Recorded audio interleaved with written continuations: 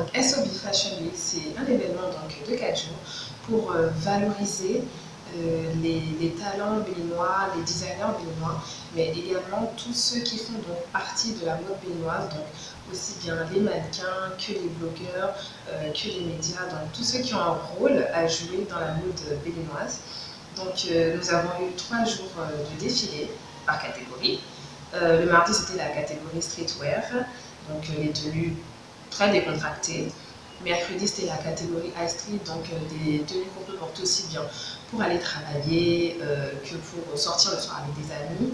Et le jeudi, c'était la catégorie donc euh, high fashion.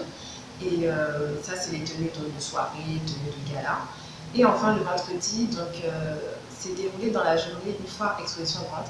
Donc le but en fait de cet événement, c'est également donc, de promouvoir la consommation locale d'encourager nos designers en achetant, euh, en faisant leur promotion, tout simplement en leurs vêtements, leur création.